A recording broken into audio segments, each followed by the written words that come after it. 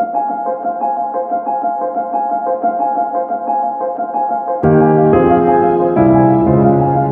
are listening to Living with ADHD and CPTSD, available on Apple Podcasts and other podcast platforms.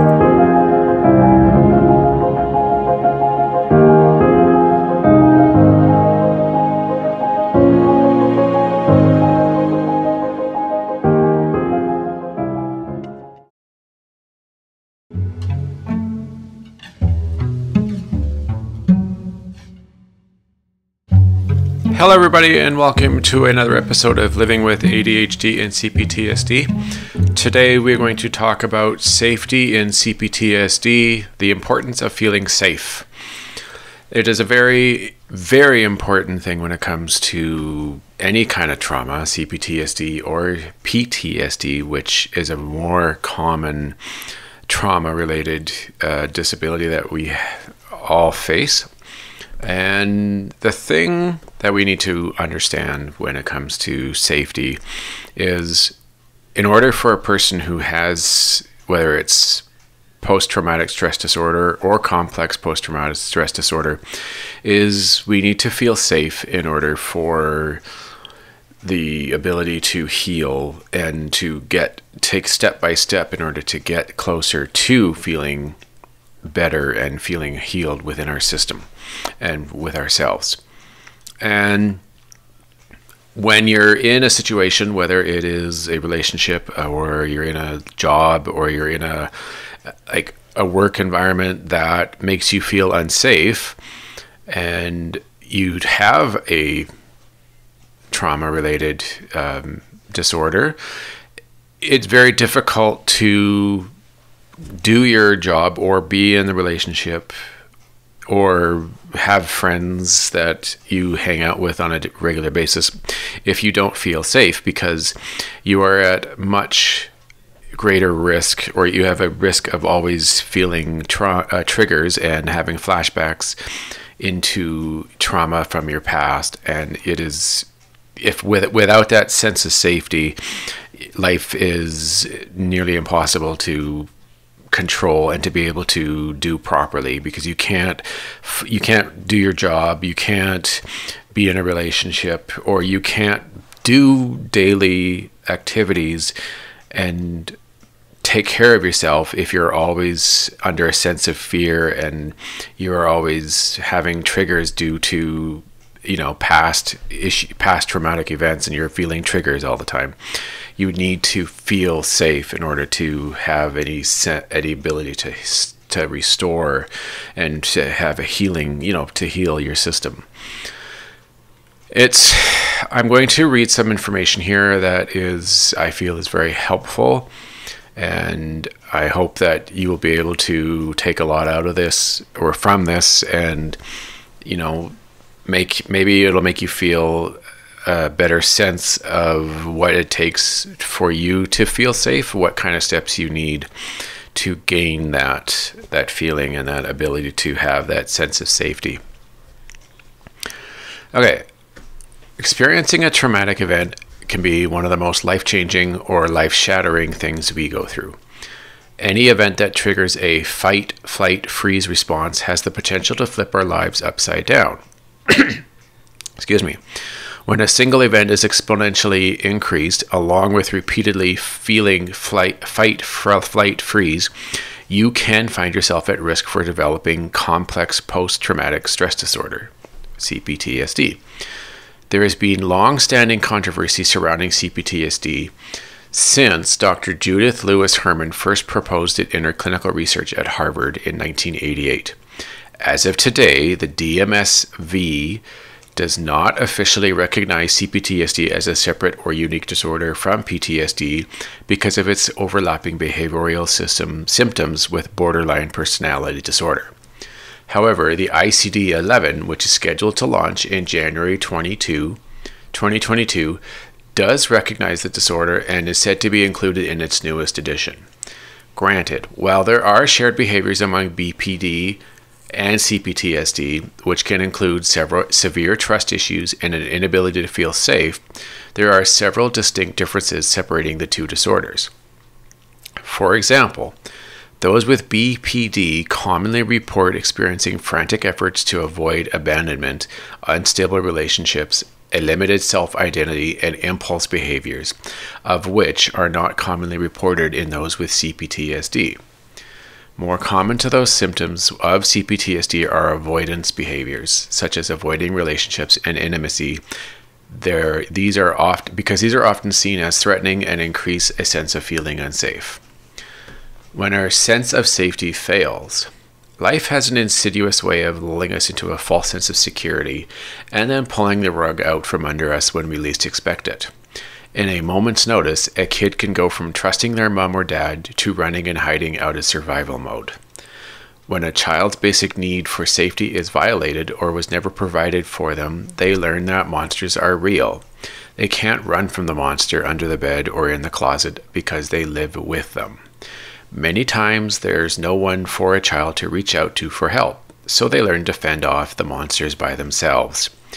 When a sense of safety goes sideways in childhood, we become stuck on the, that rung of hierarchical ladder. We can't advance. No collecting 200. We can't trust others or ourselves.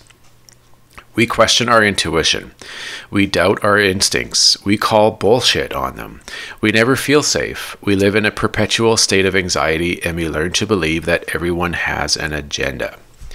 Because trust issues can start in childhood from abusive, negligent, and inconsistent environments, when a sense of trust is shattered, so is safety. We can't be expected to feel safe anywhere if we can't trust a situation or the people in it.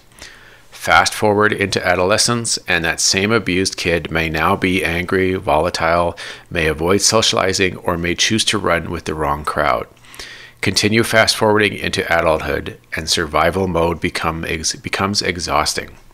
We may turn to self medicating, self sabotaging, or continue fending off the monsters from our past in order to feel safe, yet never feeling any safer.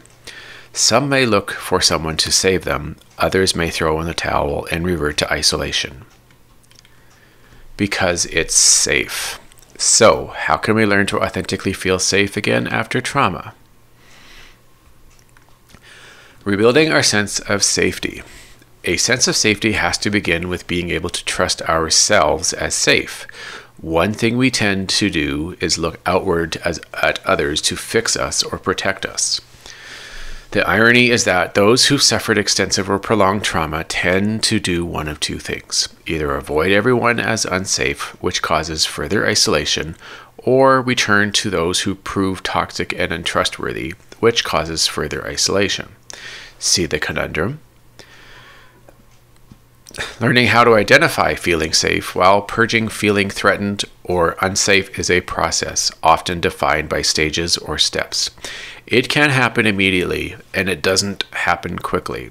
If we've experienced a prolonged threat to our sense of safety, we have to rewind back to the first events that triggered us feeling unsafe and then take small steps forward from there.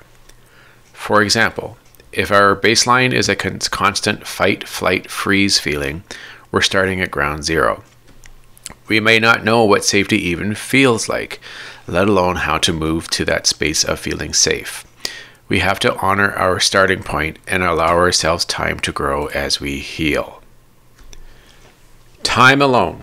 While time alone after trauma is necessary to begin healing, we can't live there. It can become too comfortable pushing others away and living inside the walls of our self imposed box because it's safe. Unfortunately, avoiding life doesn't help us heal. It perpetuates the effects of trauma because isolation feels off of itself. The more we isolate out of a need to feel safe, the further down the rabbit hole we go in isolation. Establish a daily routine. There's safety and predictability in a routine, as long as the routine is healthy and promoting growth. For those who've experienced severe trauma, a daily routine is necessary to help us relearn who we are and who we were pre trauma, so we can get back to being that person. Notice your morning routine, your daily habits, what makes you smile. Notice how you react when your cell rings, when your significant other significant other calls you, or when a friend wants to meet up. Notice how you feel if you divert off of your routine one day. Do you feel anxious? Do you feel unsafe? How do you re- redirect yourself back to feeling safe again? Embrace these things about yourself and journal your thoughts and feelings as you go. Be selective. It's okay to be selective on who you give your time and energy to, especially when you're actively healing. When we're focusing on learning a sense of safety, we can become hypervigilant on those who we let in and who we dismiss. Because having a sense of safety includes boundaries. If we haven't had solid boundaries before, now is where we typically establish firm ones. As we become more comfortable with self trust, we become more comfortable in making healthier choices for ourselves and conquering our chosen boundaries. Red flags are no longer red flags, they're deal breakers. Have a support group. This often means a combination of group therapy, individual therapy, and trusted family or friends. When we're healing from trauma and desperate to feel safe again, or maybe for the first time ever, it's important, even necessary, that we have a secure base. This may be an, a sibling, an old teacher we felt comfortable around, a mentor at school, a significant other, or a friend. Trauma groups Trauma support groups and individual therapy can also be an excellent resource for helping a person move past traumatic fears and emotional triggers and to help provide insight on identifying safe and unsafe situations from a more objective viewpoint. Okay, so let's discuss some of that right now. We, when we're feeling this, the trauma, whether it is, um, doesn't really matter what really we're feeling, whether it's physical abuse, mental abuse, neglect, um, emotional abuse. Um, it all of it is going to over, especially when it's over repeated time, as complex CPTSD is. It really takes away our feeling of being safe. Like we don't, we're not going to feel safe when we're around that person or people who are repeatedly you know, treating, mistreating us, verbally being abusive, hitting you, um, you know, emo- neglecting you, not not giving you what is required for you to be to able to survive, especially if when you're a child you don't have the ability to take care of yourself, which is the w- normal way things are when we are children is that we do we rely on uh, a parent or parents or a guardian of some sort to look after us so that we can have food, have shelter, get our, you know, get proper sleep, get exercise, and be social. And clearly, without all of that, you're going to have that sensation that this is not a safe environment to be in. And in order to gain that sense of safety, you have to protect yourself. You have to do things and act or act a certain way in order to be to maintain that.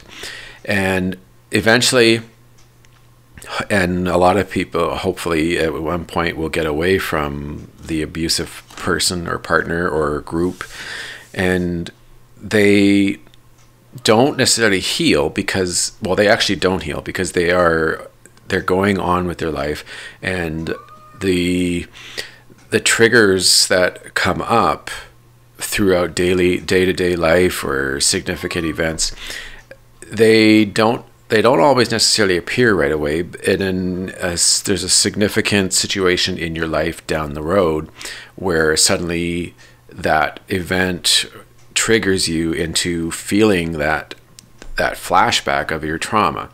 And you again are not feeling in a safe environment. So you feel scared you're feeling that severe trauma, that flashback that makes you feel in danger.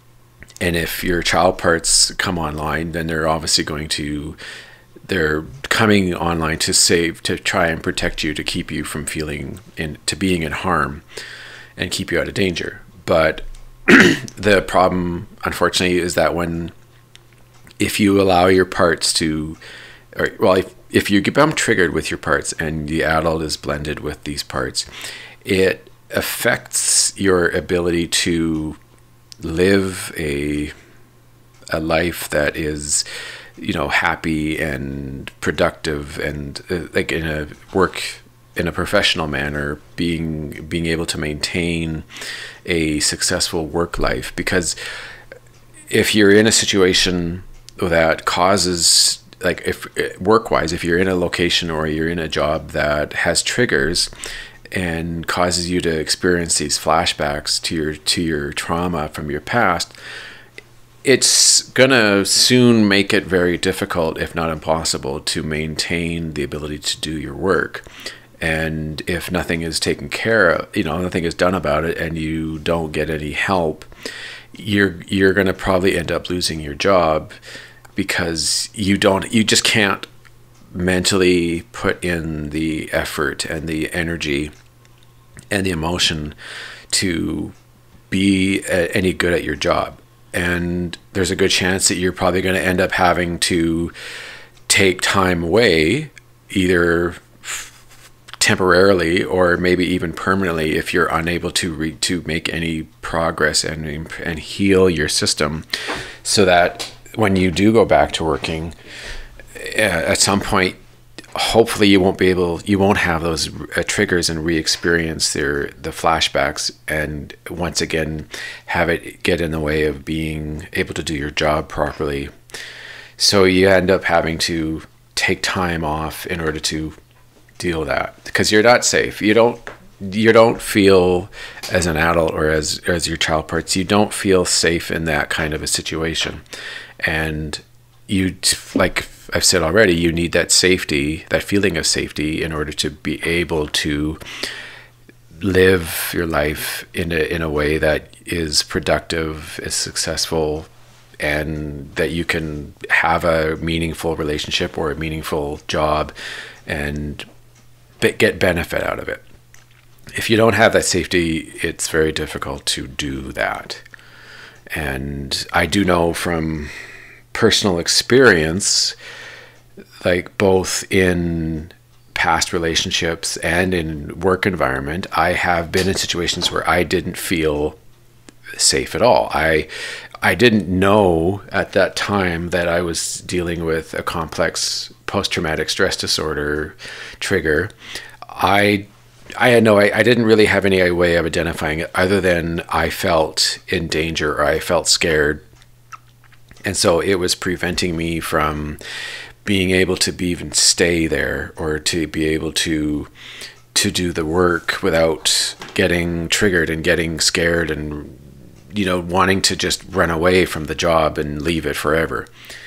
When it came to like my relationship, I instead of running, I did whatever I could um, to like I bargaining, right? Like um, the uh, the fight, flight, freeze. There's also the fawn, the the four Fs when it comes to that.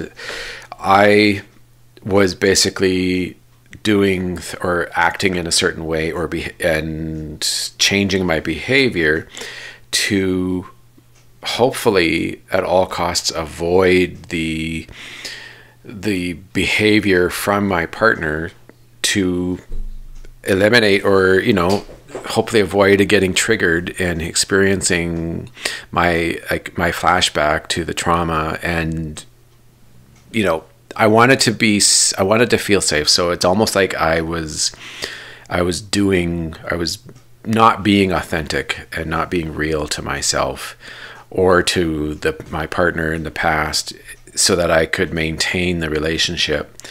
But a lot of that was due to a real poor level of self-confidence and not believing that I deserved any better. Um, my thoughts were is that I didn't think I was going to get anything or be with someone who would be better for me or that I deserved anything better. So it was like I had made a decision as a person, as, uh, you know, as a whole, that I would, you know, allow myself to be manipulated in a way that was beneficial, even though it was it was very harmful.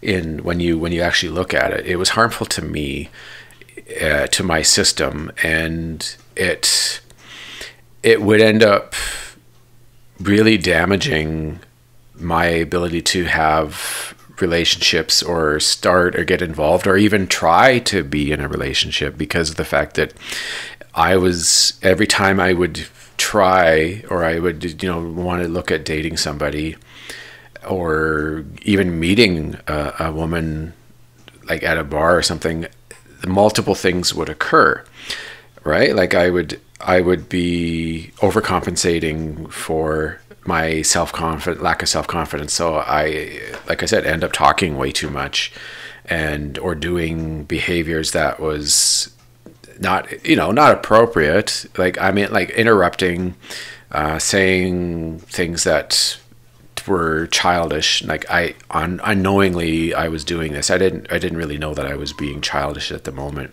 but there was, there were a number of things that I would say or behaviors or actions that I would take that would turn off or turn away that person and they would want they really wouldn't want anything to do with me but i was doing this out of a sense of safety. I was trying to feel safe in the environment because there was a lot of uh, potential triggers that could come from there. Like i could there was anxiety triggers. There was i had i was always getting nervous.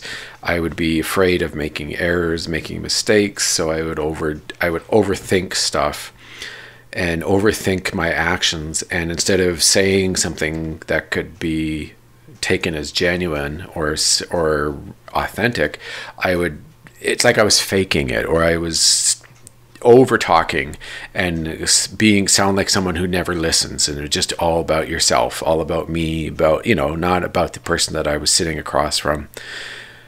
I wouldn't i have of course that's the problem is that you you're trying to make yourself feel safe and avoid getting any triggers like from your experience but at the same time i was damaging any kind of potential uh, future relationship or friendship in that matter.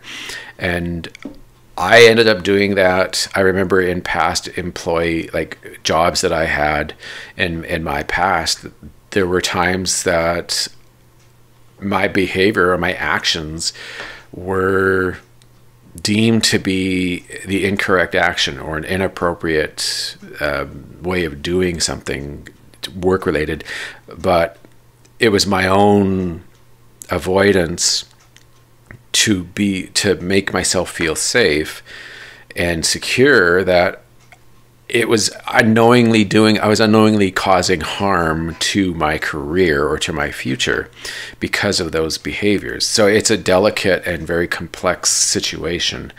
And without the proper help from a therapist and and you know doing the work and processing with your system it can be very difficult, if not impossible, to both feel safe but make the correct and the and the right choices for yourself.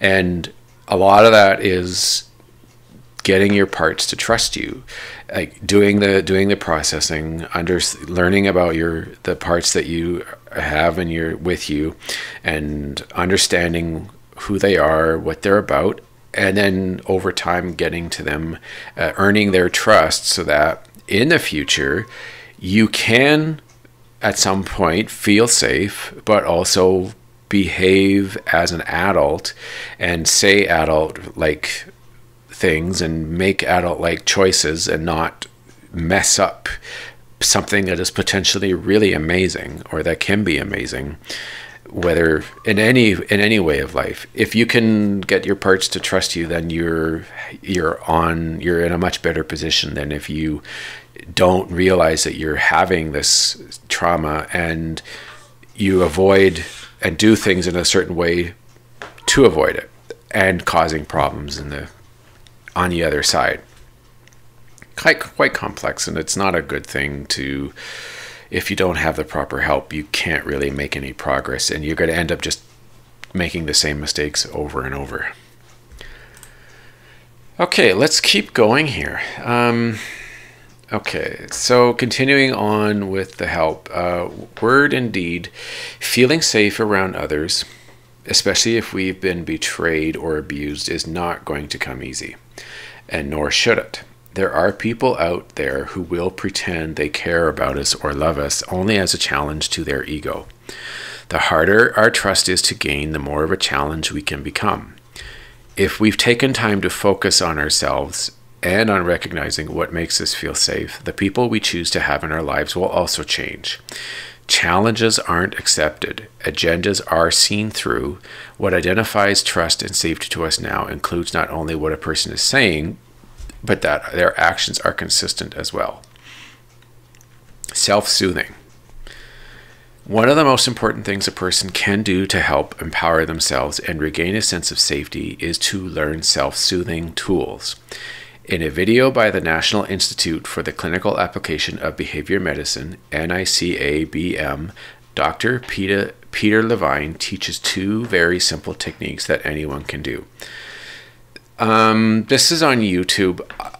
Obviously, there's no point in playing it right here because you might not be able to hear it. But if you are interested in the video, there is this is online. You can look up Peter Levine on YouTube and you can watch this video. I'll put a link in the in the description of the video. Okay, because consistency is key, doing these type of self-soothing skills can help build a sense of safety, especially if feeling threatened or triggered. Other common skills include the 5 4 3 2 1 method, which is based on grounding techniques. We've actually discussed that in the past. It's basically doing like the five senses where you can like you choose five uh, colors to find, uh, like for the visual, then the four senses of sound, the three senses of touch, the two senses of like you could or smell, which you know whatever works best for you. So it's the same method. So it's your grounding techniques. Okay, when feeling unsafe, look to your immediate environment for five things you can see and label them out loud. Four things you can touch and touch them while labeling them out loud. See exactly. And so on it's a uh, yeah it learning to feel safe after trauma is learning to thrive after having lived on survival mode for so long or for too long yes.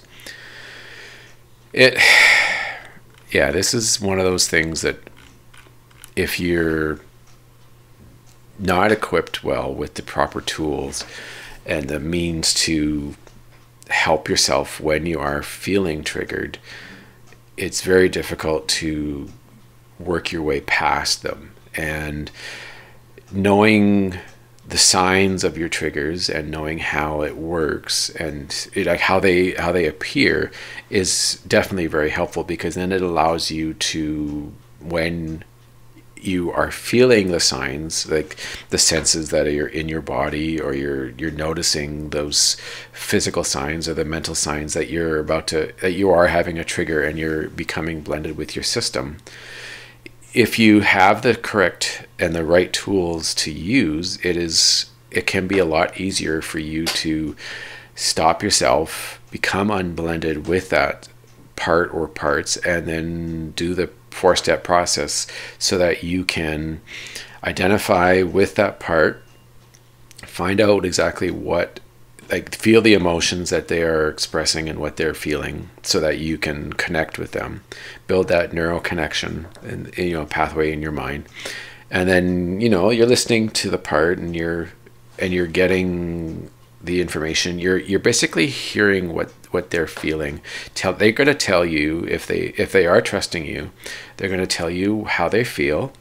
They're going to explain you know who they are. Like if you haven't established any kind of identifi- identification or identity with that part they're gonna they're gonna hopefully they'll tell you who who they are what their trauma is what they're from where they were born. And then if eventually, if you do the work and you do it right and you are consistent with it, you will be able to get the opportunity to update that part and show them you know that you're that it you know you you appreciate and you're thankful for their for what they're doing for you that they're protecting you. But you're also going to like you want them so that in the next time like I've discussed before, the next time is that you do happen to get a trigger and you feel those flashbacks that you're going to be you're going to have a much better opportunity to come out of it quicker and be able to update them faster and and heal like a better chance of healing and getting uh, moving forward in your progress to a, a better happier safer life if you're and the key to being able to do that successfully I think there's a number of things that are, are definitely important when it comes to this, but safety is definitely one of the highest you know requisites in order to for this to be successful. Because if you're safe if you feel safe whether it's in the environment you're in um, your workplace if you're in a relationship and you feel safe and you and you have that experience of safety and trust with that person it you have the the ability and you and you have that chance and the opportunity to work with your system and do the updating and and gain their trust more and eventually get those neural pathways those connections built more and more so that eventually at some point you'll be it, it'll be like you are one again.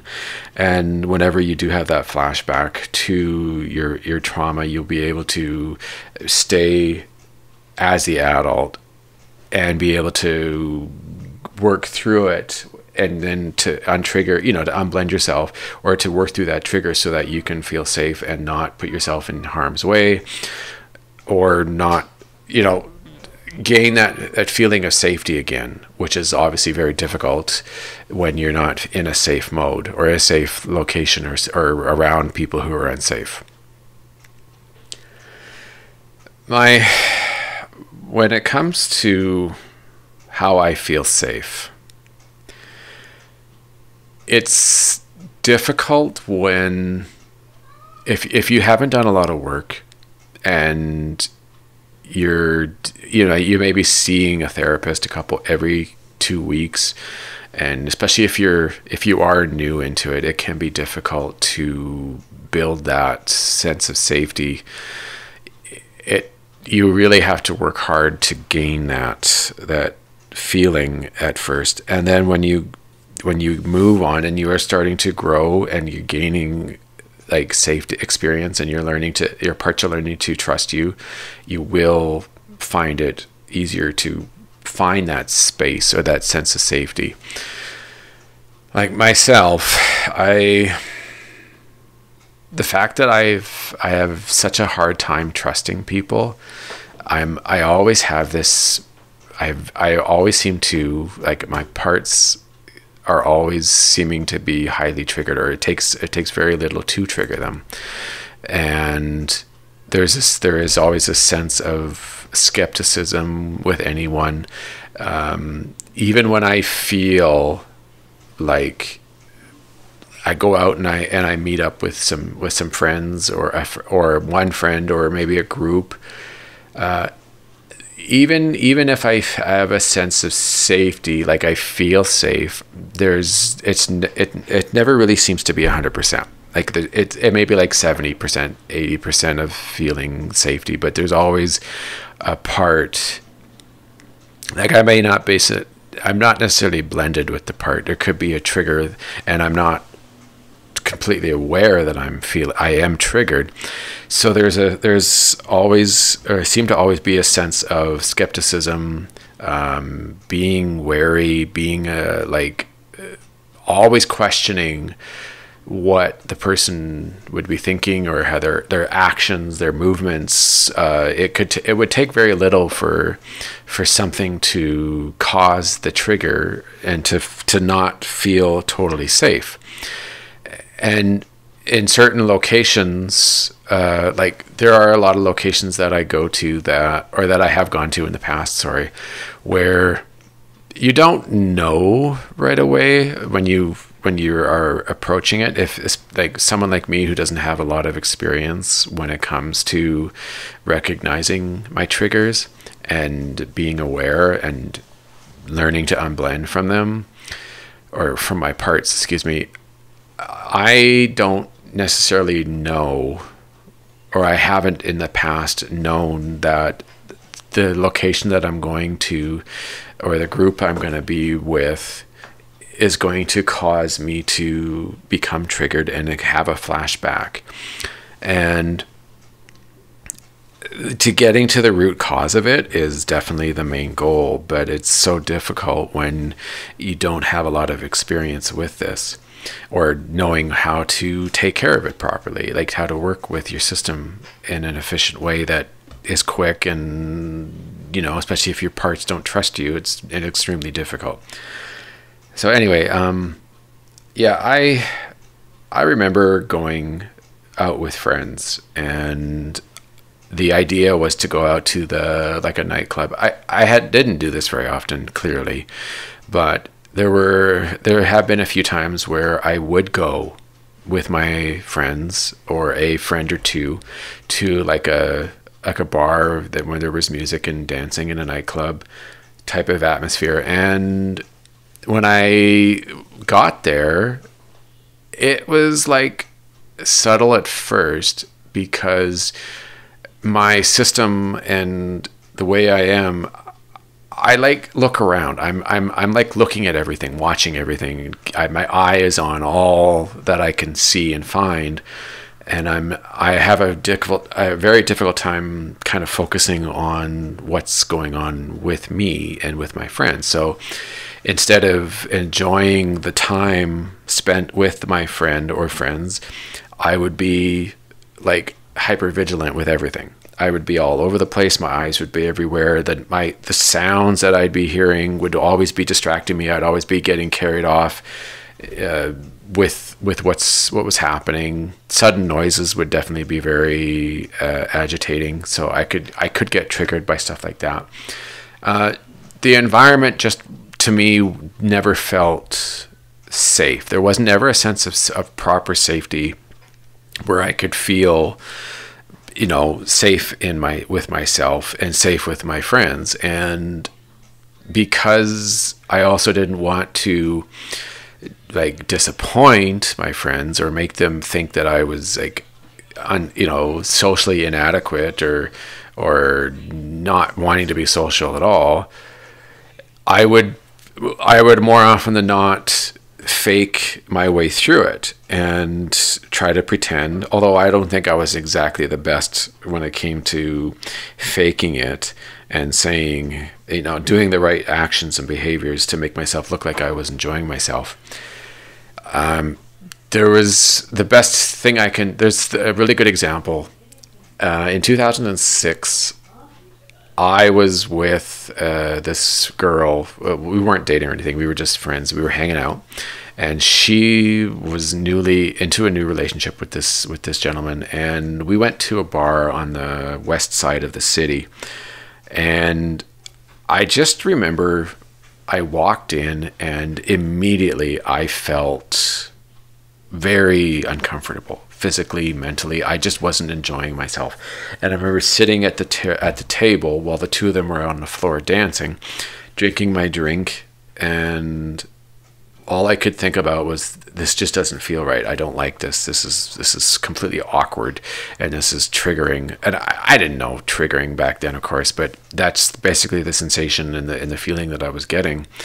And I think I sat there for 20 minutes I don't know for sure, but I I got so disturbed and so triggered by the the environment and the situation that I was in that I got up and left.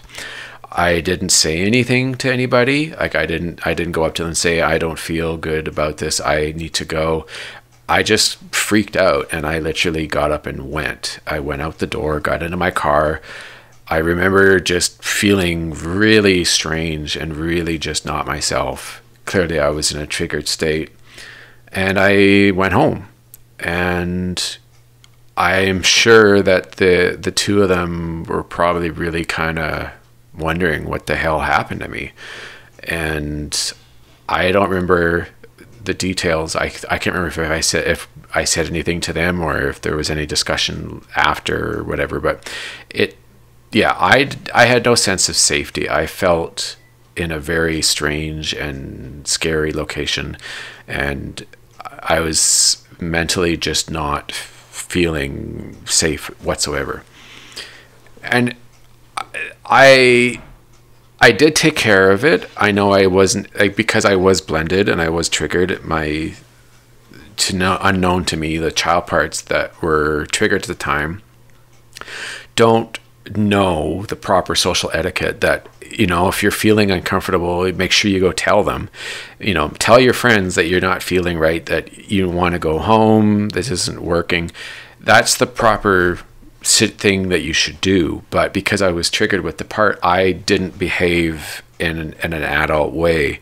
Instead i was a scared child and I walked out the door in order to get relief and to feel normal, to feel whole, to be safe again yeah, it, it's just one of those things that I've I have done a number of times where instead of telling like feeling as the adult and saying to someone or to whoever I'm with this doesn't feel right. I'm feeling you know it I don't think I'm going to say to someone I'm feeling triggered um, I would say to them, I don't feel good. This place is giving me the creeps or something, or you know, and I would ask if I could go or take out, take go outside, take a walk, maybe take a break, um, and I'm sure that they would understand. But because I didn't have any kind of relationship or any trust with my system back then, it the child part took over completely and deserted them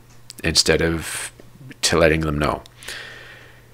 Eh, today, I think if I was first off, I don't think I'd put myself in a situation like that to begin with because I I know too well now in my later years that something like that is not something for that I enjoy. I can't pretend to go into a loud nightclub or somewhere that feels really uncomfortable and pretend to walk and to go through it and put myself through this torture and uncomfortable feeling and that feeling of not being safe, I would just not go.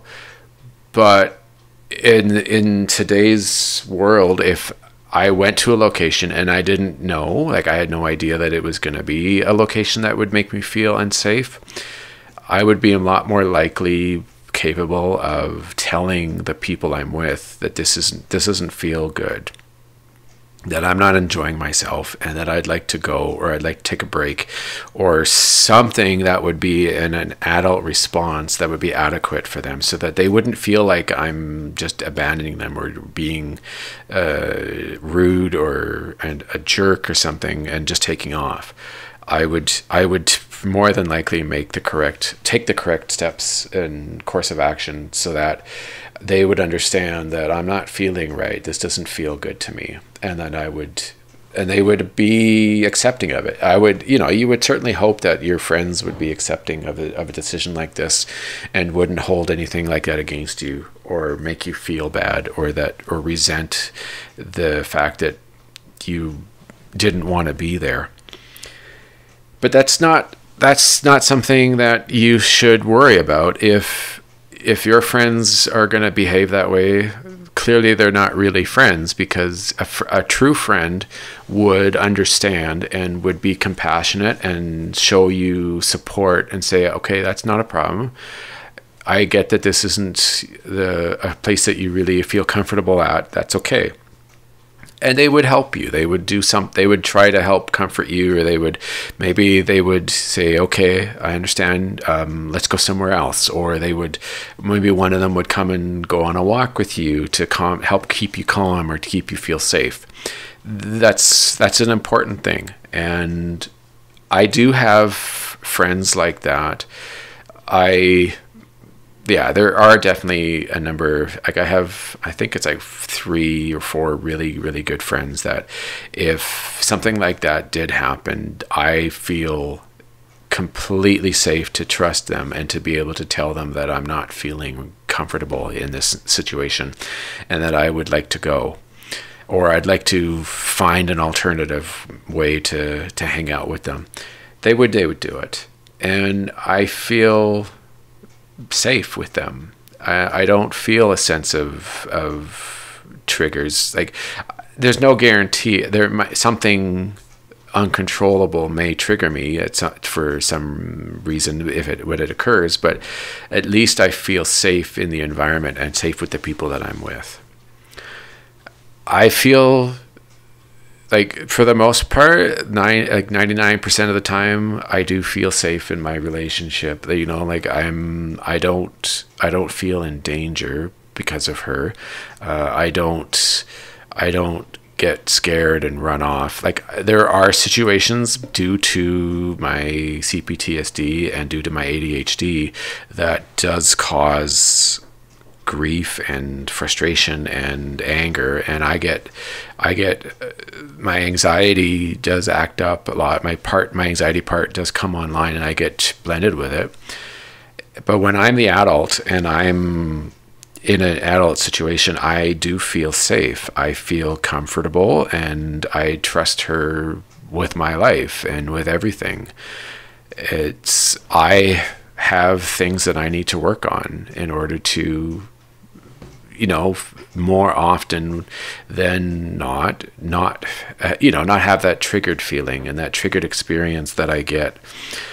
And so that I can feel even more safe around or with her doing things and, and activities and not feel scared uh, because of a trigger or some an external env- environment or an event or a a flashback from a past relationship or past situation that can cause it.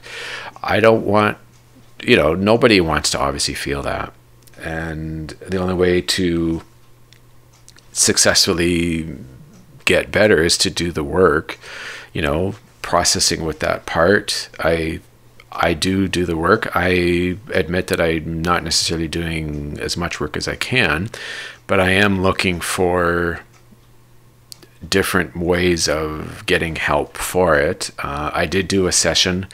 Um, actually, the show that I was on, um, the self sabotaging sagas with Janaea Barnes, I actually did do a session with her and talked about my anxiety part with her and we went through a couple hours of of some work just to get an experience of what she does and it showed me a lot. Like it, it really gave me a better and much clearer understanding of exactly what my of this anxiety part.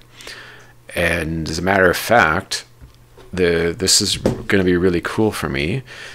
Um, I am. This is going to be done after the recording because I am recording this earlier, as you are aware. But I have a hypnotherapist hypnotherapy session with a woman from Medicine Hat, Alberta, which is about five or so hours south of where I live. And it's going to it's going to be a very different experience. I've never been hypnotized before, uh, definitely not for a therapy session uh, to help. But I am I am doing this for the benefit of my health, my system, and I'm also doing this to benefit my relationship. Uh, I want to, I want to get, I want to feel better. I want to feel healing, and I want to have better relationship and a better trust with my system, especially with this anxiety part. I want to, I want to be able to at some point have enough trust with this part that I'll be able to know when I'm feeling the trigger, when I'm feeling this anxiety, that I'll be able to be the one in control and not get triggered to the point where my behavior is childlike and and is inappropriate and is potentially damaging. I want to be able to get to a point where I can be the adult in this situ in in every sort of situation that could be potentially unsafe for me. And doing the hypnotherapy is going to be a step in the right direction to feeling safer.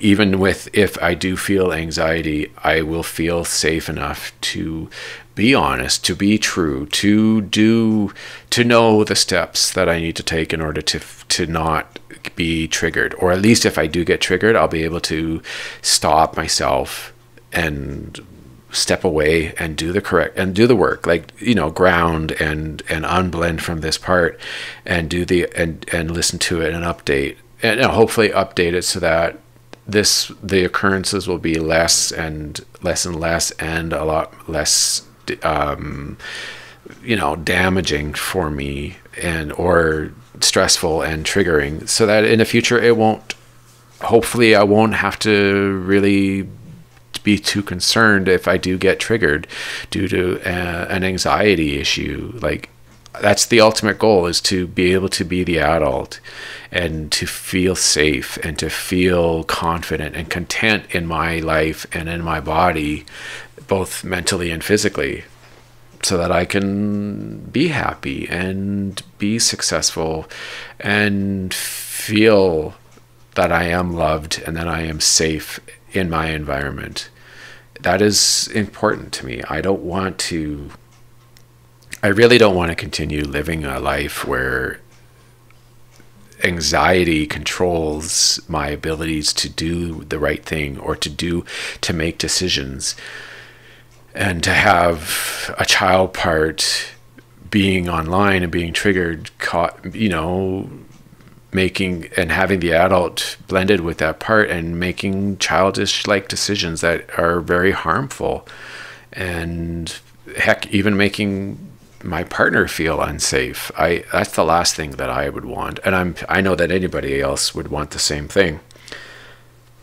So yeah like this these are ways to help you know? Like going to a therapist is is the best way and the most reliable way to get you know on the track to healing. And then finding alternative means like additional help is always good. There's nothing wrong with with going and finding more ways of of working with your system. Um, doing the work, processing on a regular basis, truly listening to your parts and gaining their trust and learning about who they are and why they're here to protect you and the benefit of the, of what your part has done for you your entire life. All these steps lead towards eventual healing and feeling safer, more safe in your in your life and in your where you are, who you're with and one day hopefully you'll be able to you know have a really happy safe and you know well just feeling good and not not worrying not having to deal with uh, flashbacks and and having child parts come online. Being in control and being the one that's that is the that's doing the talking and and making decisions in your life is is going to be much better than having a child part be blended with the adult. And having childlike behaviors and decisions being made in your life. You don't want that. Nobody really wants to have that ultimately. All right. Uh, I guess that is it for today, for this episode. Um, that was a lot. Uh, it's been a while since I've made a bit of a longer episode. Um, this is I'm I have to say I am looking forward to the hypnotherapy. Uh, it will already have been done by the time this episode ha- has released or is published to the public. If you have any questions regarding it, or if you are curious about the hypnotherapy, you can ask me. You could also look it up online. Uh, there's plenty of different therapists out there that are available for this kind of procedure if you if something you'd seriously want to look into. Uh, yeah, I'm looking forward to it. I think it's going to be fantastic, and I think it's going to be of great benefit to me uh, to help make my life feel safer and heal my system, and or towards healing my system, I should say. It's going to be fun. Um, I will give you a bit of an update uh, in the next episode next week to let you know how it went and maybe do a bit of a run out, uh, run through of it. I'm not going to talk about it too much because um, I don't know exactly how it's going to go. And for all I know, it might not be something that I'm willing to discuss with the public, but I might discuss it briefly just to let you know how the experience was for me. I've never been hypnotized before, just so you know. Uh, I'm, it is making me nervous, but I am definitely excited for it. Okay, uh, I'm on Twitter at ADHD and CPTSD. Please give me a shout. Come and follow me. Uh, I love talking about things. Um, I am open to discussing whatever you feel like. Honestly, um, my website is www.livingwithadhdandcptsd.ca. I have my Facebook page. You can find me on there. Same name. Uh, I am on Patreon, so if you want to support me, you can subscribe, and I have a lot of interesting things on Patreon that you could find. Uh, if you want to check out the Sabotaging Sagas episode that I did with Janaea Barnes, it is on my YouTube page. It's obviously Living with ADHD and CPTSD on YouTube. The video is there. It was about an hour long and it's really interesting. You get another perspective from a different person who has also dealt with trauma and their experiences and how they deal with it and how they help their parts and their system. And you get a chance to see me uh, in on camera, which is really cool. Speaking of YouTube, um, I'm just about ready. I have actually got a few ideas as far as how what my format is going to be on YouTube. The idea I'm looking at is talking with other people on YouTube and other podcasters about CPTSD with them and their life experiences, how they deal with CPTSD, the processing they do, their their own unique challenges and how they help their system. I'm I'm hoping to do that. Uh, I don't know how often it will occur. I'm tr- I'm going to try for maybe uh, one episode a week, maybe two. Uh, well, every I'm sorry, I mean every other week, and I really hope this will be an exciting venture. I'm really looking forward to it, and I just need to get it set up so that it's it works well for everybody involved. So, um, looking looking forward to that. I hope you will be too